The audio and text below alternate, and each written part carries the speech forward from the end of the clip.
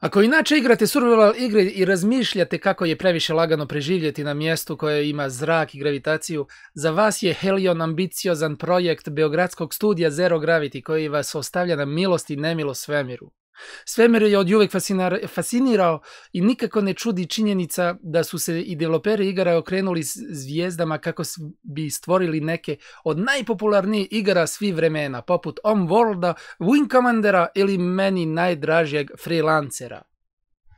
Qu'est-ce que tu veux rajouter à ça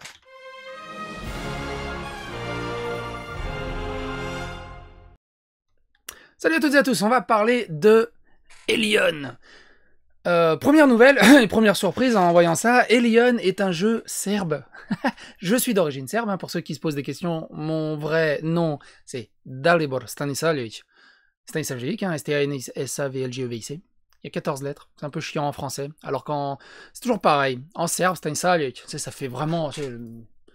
Truc presque à particules nobles, waouh En français, ça fait euh, immigré clandestin euh, qui nettoie ton pare-brise sur les feux rouges.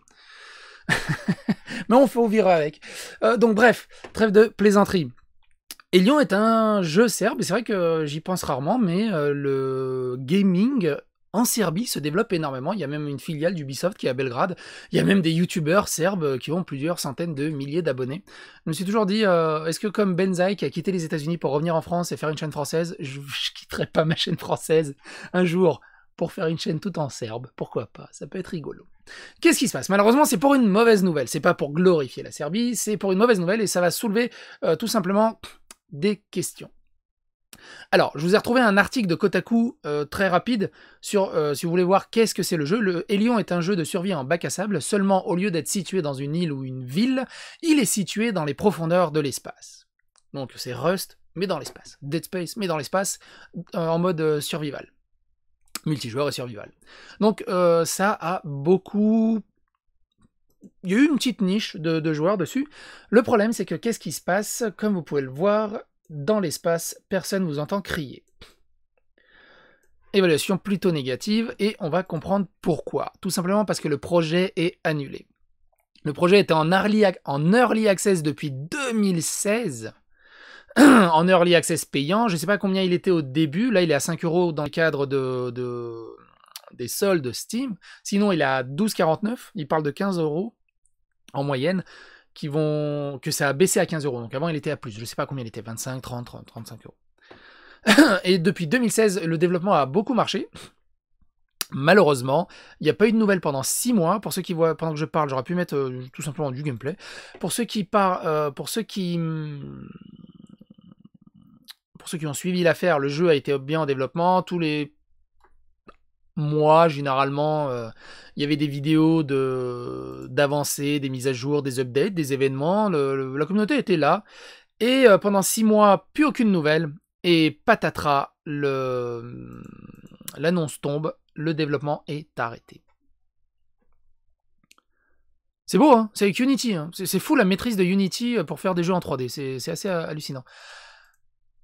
Donc, euh, les développeurs ont statué de, cette manière-ci. Bonjour, survivants de l'espace, blablabla. Bla, bla, bla, Avec une, équipe complète, il nous a fallu au moins deux ans pour concrétiser notre vision et Lyon a été lancé dans un early access en février 2017, pardon, 2017, pas 2016. Nous avons réussi à sortir un jeu qui était presque impossible à réaliser, souvent, euh, euh, devant franchir et dépasser les limites de notre moteur de jeu Unity. Le début a été un peu chaotique, mais assez tôt, tous les joueurs ont reconnu que notre offre avait euh, proposait une expérience unique et qui ne pouvait être trouvée dans aucun autre jeu. Les soutiens de notre joueur a confirmé que Elion est vraiment spécial et que nous en sommes très fiers. Blablabla, bla, bla, bla, c'était une expérience, euh, une expérience incroyable. Malheureusement, la cruelle réalité et pas assez de joueurs ont été amenés dans notre monde de Elion pour le rendre commercialement viable.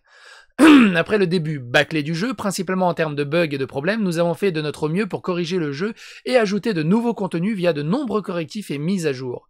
Elion a grandi, s'est amélioré, mais encore loin de l'idée originale de ce qu'Elion était censé être. Faction, navire supplémentaire, poste de commerce, tout cela était simplement mis de côté, car notre équipe était constamment en train de lutter contre des problèmes techniques, dont certains étaient tout simplement impossibles à résoudre pour de bon. Cette lutte touche à sa fin. À ce stade, sans afflux de nouveaux joueurs, le jeu ne paie pas son développement. C'est pourquoi nous, avons dû prendre une décision difficile. Zero Gravity ne peut pas se permettre de développer davantage Elion. Il y aura bien de nouvelles mises à jour, corrections, bugs ou modifications officielles du jeu. Cependant, étant donné que le jeu est jouable et que nous pensions qu'il offre une expérience de jeu unique, nous voulons que cela continue pour les joueurs qui veulent en profiter. Et Lyon quittera l'accès anticipé sans atteindre les objectifs que nous nous étions initialement fixés. Afin de maintenir les serveurs en place, nous continuerons à vendre le jeu sur Steam. le jeu n'étant pas complètement terminé, le prix sera abaissé à 15 dollars. Ah voilà, c'est pour ça, 15 dollars à partir de demain, 16 octobre. Le contrôle des serveurs officiels sera confié au modérateur de Elion sur Discord. Nous sommes absolument conscients que beaucoup d'entre vous trouveront cette nouvelle décevante. C'est une période difficile pour nous. Nous avons investi énormément d'efforts et de travail euh, dans Elion et nos cœurs et nos esprits étaient dans ce projet depuis de nombreuses années. Maintenant, le développement de Elion touche à sa fin et nous sommes tristes que notre vision du jeu ne soit pas pleinement réalisée. Encore une fois, Merci pour votre soutien, vos idées, vos, rapports, euh, le contenu que vous avez créé et tout ce que vous avez fait de cette expédition de survie. Merci infiniment. C'est une excellente lettre euh, de fin, on va dire, une excellente lettre de relations publiques. ce qui soulève, c'est que moi j'ai un, peu de mal avec les jeux qui sont pendant genre euh, genre euh, c'est quoi le jeu de zombies là c'est pas Day of Defeat c'est DZ comme DZ que ça fait 10 ans qu'ils sont en early access pour moi c'est c'est soit une arnaque soit il y a doit y avoir une loi qui fait, qu'on puisse, qu'on puisse faire de l'optimisation fiscale dans le cadre d'Early Access. C'est pour ça qu'il y a des jeux qui sortent jamais de l'Early Access. Moi, je vois les choses comme ça. C'est vraiment bizarre, mais je vois vraiment les choses comme ça. Quand il y a un Early Access et Early Access pendant 3 ans, au bout d'un moment, tu dis, faut arrêter les conneries. Par contre, donc là, le jeu est pas terminé, mais il laisse le jeu quand même à la vente. Fous-le gratuitement. Mets-le en open source au mieux je serais David dire, mais là, continue quand même, on va gratter quand même un peu. Alors, sur le papier, le projet est génial.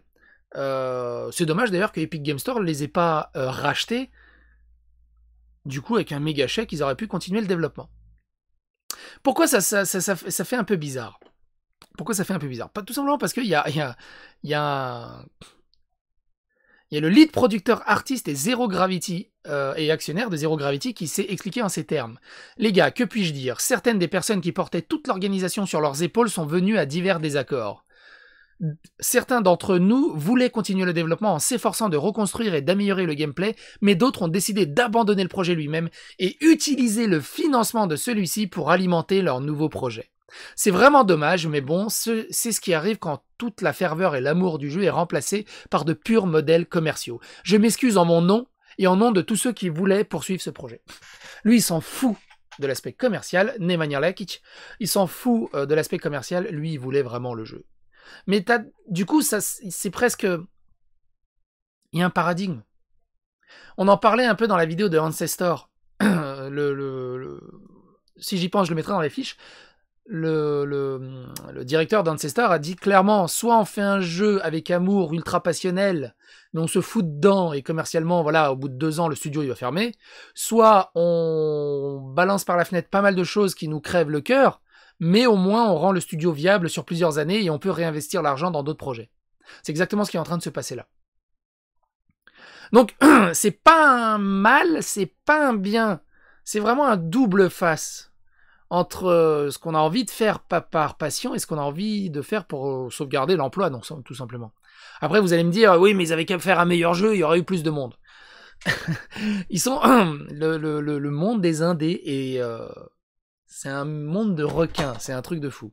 Le truc qui est intéressant, euh, c'est ça en fait, c'est qu'est-ce que vous, qu'est-ce que vous, vous feriez à sa place?